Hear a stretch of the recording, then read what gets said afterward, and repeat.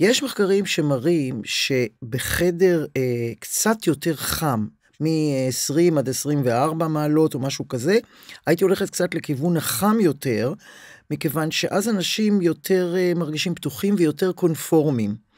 עכשיו, במקרה של רעיון, תלוי מה אני רוצה. אם אני לא רוצה שהבן אדם יהיה קונפורמי ויסכים לכל מה שאני אומרת, רק צריך לזכור שזה... אז אני אולי לא אעשה את זה כל כך חם. מה אני רוצה בעצם ברעיון? אני רוצה שהוא יפתח בי, ואז, כמו שאמרת, אולי הוא ייפתח. יש הרבה מחקרים שהראו שכאשר אתה נוגע במשהו חם, אתה בוטח בבן אדם השני יותר.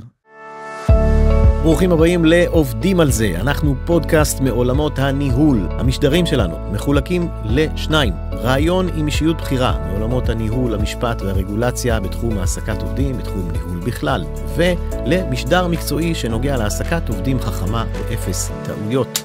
אז בואו נתחיל.